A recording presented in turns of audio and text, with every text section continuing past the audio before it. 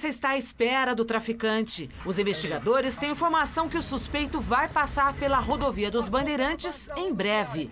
Passou pela base da rodoviária. A perseguição começa. São segundos em alta velocidade até a polícia dar sinal para o suspeito parar. Vai embarcar e correr, hein?